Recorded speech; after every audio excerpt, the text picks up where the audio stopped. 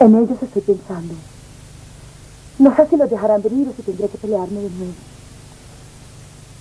No tendrá que pelear con nadie porque ahí están esperándola. En compañía de Diego Blanco, como siempre. No los haga esperar. Pero no olviden mis recomendaciones. Mucho cuidado con ese hombre, Alicia. Además que descubrí algo en su mirada que no me gusta para nada.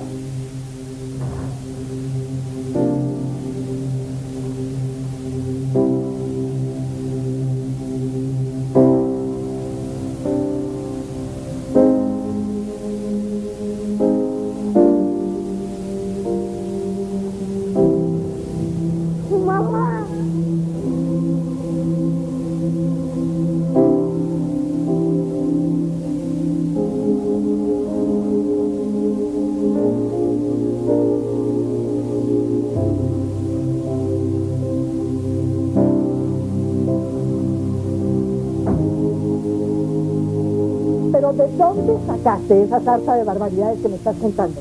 Dice muy bien, doña Perfecta. Barbaridades, porque lo que Diego me hizo anoche es una infamia que yo no merezco. Porque usted sabe muy bien que yo a él lo quiero mucho, pero tampoco es justo que me trate de esa manera. ¿Que se obligó a ir a la inauguración de ese dichoso hotel? Pues inesperadamente llegó a mi casa y me invitó a salir.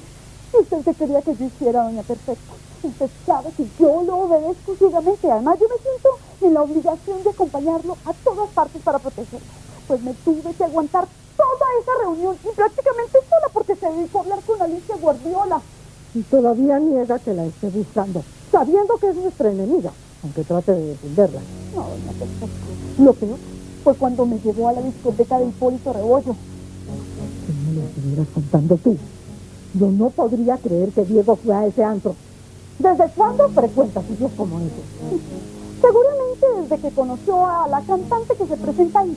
Una mujer que según dicen es extranjera. ¿Y qué clase de mujer es? Doña Perfecta, usted la vida. Es una vampiresa de lo más vulgar. Es una mujer que ni siquiera es capaz de dar la cara, porque siempre que se presenta está tapada por un antifaz. Le llaman la panterita. Es una aventurera que se encarga de recorrer el mundo en busca de hombres para poder abusar de él. Y ya enredó a Diego, doña Perfecta, ya lo enredó. nada, pero ¿por qué dices eso? ¿En qué te basas para creer que Diego ya tenga una relación con ese monstruo que me acabas de describir? Me dejó plantada por ella, doña Perfecta. Me dejó así nomás, se fue corriendo con esa sinvergüenza y me dejó sola. Como si yo no le importara para nada. ¿Tú sí lo estás oyendo, Aide? Tu hermano se volvió loco. No puedes creer todo lo que ella te está contando. Iluminada puede estar exagerando. No exagero un ápice. Tengo testigos, te lo juro que tengo testigos. Lo que tienes es una enorme y perversa habilidad de indisponer a mi madre, sabiendo que no puedes recibir disgustos. Pero ¿qué clase de amiga eres, iluminada? La mejor de las amigas.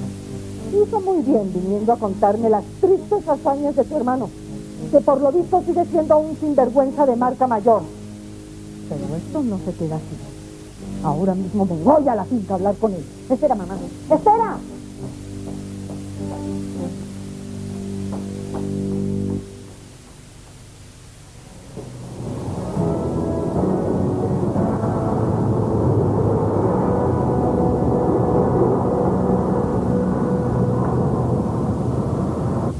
¿Qué te has detenido, tío Diego?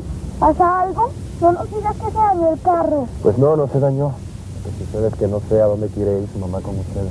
Pues a la finca, como siempre. Pues yo no estoy tan seguro de que su mamá quiera ir a la finca. ¿Qué quiere que la lleve, Alicia? No lo sé, no lo he decidido todavía. ¿Qué te pasa, mamá? ¿Estás enferma? No.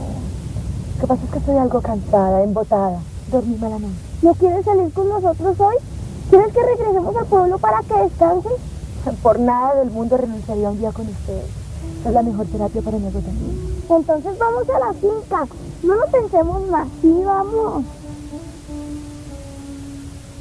De acuerdo. Vamos a la finca.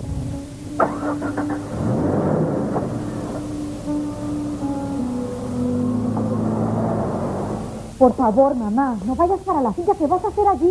Tú sabes muy bien qué es lo que voy a hacer. ¿Y por qué no esperas hasta la tarde para hablar con don Diego? Mamá, lo que tengas que decirle, se lo dirás cuando regrese. Es prudente que salgas en el estado en que estás, ofuscada y envenenada por lo que te dijo Iluminada. Y es que no tengo razón. Dime, no tengo toda la razón. No sabes hasta qué punto iluminada pudo exagerarte. Ya está despechada con los desplantes de Diego. No sabes si te dijo mentiras, mamá. Yo confío plenamente en Iluminada y sé que todo lo que me dijo es cierto. Y tú deja de defender a tu hermano, porque parece que últimamente los dos solo andan cubriéndose las espaldas. No le diga eso, doña Perfecta. Y tranquilícese, mire que la úlcera se le puede alborotar. Pues que se me alborote y que se me reviente y que yo me muera. Pero esto no se puede quedar así. No, yo estoy lucida con mis hijos, pues. Una hija que ahora se la pasa trasnochando siempre porque quiere volverse santa. Y el otro, un tarambada que se enreda con la primer vagabunda que llega al pueblo. Pero la suerte de mis nietos no la voy a dejar en manos de ese irresponsable. Y eso es lo primero que le voy a decir apenas llegue a la finca. Pues en ese caso, yo te acompaño. No vas a ir sola, mamá. Tú no me vas a acompañar a ninguna parte porque esto lo tengo que resolver únicamente yo. O dejo de llamarme perfecta albarracín.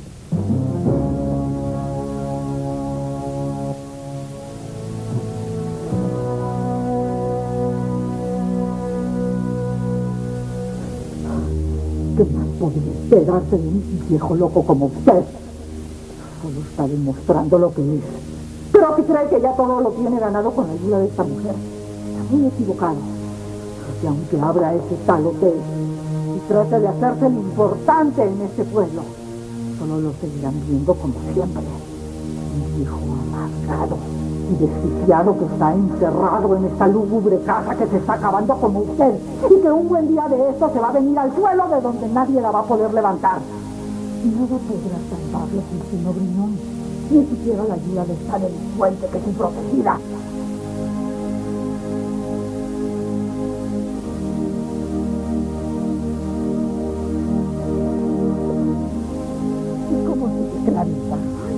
Amaneció hecha polvo la pobrecita.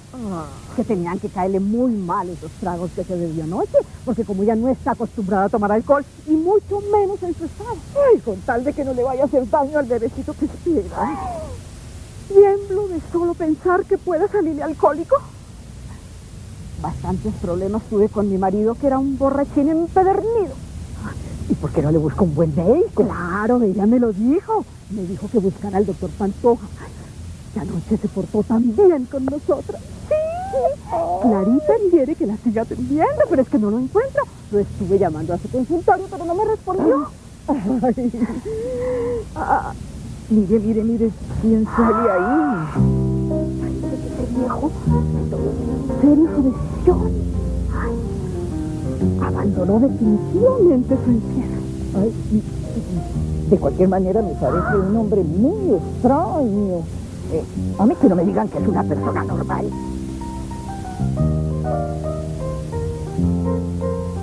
Ay, tengo mucho miedo.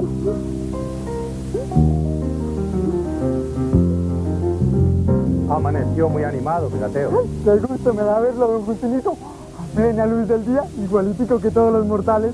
Y que me parece mentira verlo. Necesito empezar a cumplir con mis obligaciones, ¿no? Y aunque el hotel no tiene clientes, es necesario observar que todo esté organizado. Pues le cuento que sí tiene clientes y son gente de aquí, de este mismo pueblo, que por puro embeleco decidieron venirse y ya se registraron cuatro. Entonces hay que hablar con los empleados para que los atiendan bien. Ya que Alicia hoy se encuentra ocupada paseando con los niños. Ay, pues claro, no es que hoy es sábado, que hoy tiene que hacer de mamá. Pero siga, don Justinito, que está en su casa. No, me gateo.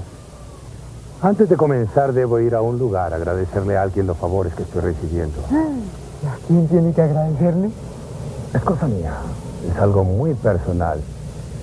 Nos vemos después, mi gateo. Bueno, Justinito.